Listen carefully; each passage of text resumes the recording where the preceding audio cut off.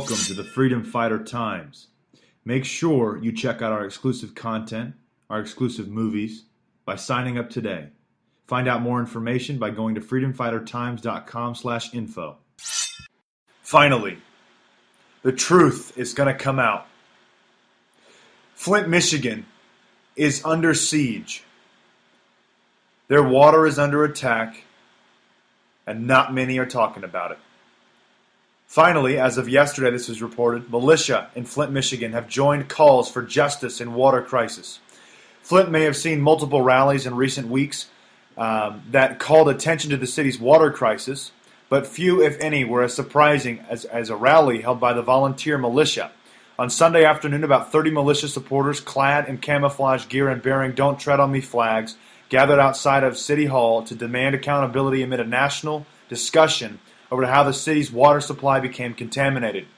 We're here to defend this community, said Matthew Kroll, the militia's executive officer, addressing the crowd in a full camouflage outfit with a handgun strapped to his hip. We're not going to allow the government to step on the people of Flint any longer. He added, if it means having to take up arms in defense, we will do that as well. Politically, the militia may not seem to have much in common with past leaders who have called attention to the crisis, including filmmaker Michael Moore or civil rights leader Jesse Jackson. Yeah, Jackson. The militia's Facebook page is filled with proclamations of gun rights and also bears posts favorable to armed militia that have been occupying an Oregon wildlife refuge. A handful of people in Flint in the Flint crowd on Sunday were open carrying pistols. Ooh, whoa, scary. Some of those disagreements became obvious when Kroll told the group this is not a racial issue. Unlike some people last week tried to say, it's a human issue, which is that's very true. Actually, it's a tyrannical issue. It's a government corruption issue yet again. U.S. authorities distorting tests to downplay lead content of water. Really?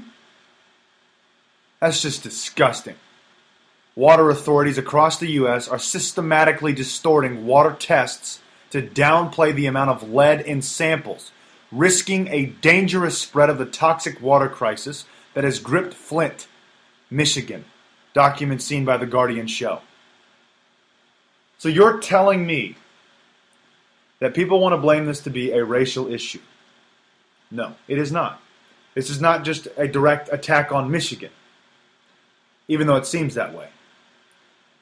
Everywhere across the United States of America, there is an issue of some sort relating to a crisis, whether it be water or food or contamination or corruption.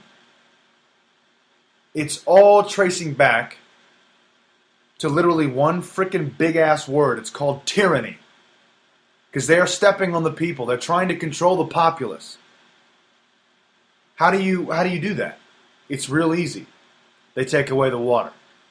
What are we witnessing in Flint, Michigan? The water is contaminated. It's been poisoned. The con- and then they're covering it up to make it even worse.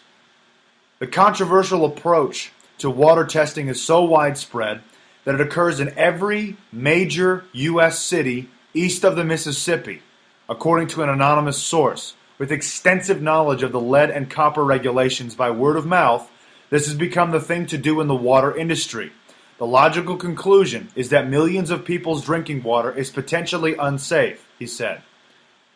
Really?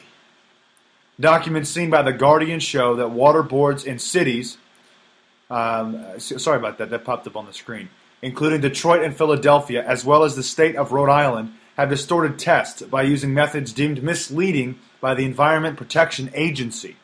There is no suggestion that the EPA regulates have been, uh, regulations have been broken, but the agency's guidelines have been systematically ignored.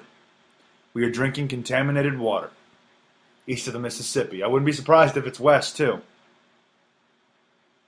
Shocking days are ahead. I want to thank you guys for watching and listening. God bless and carry on.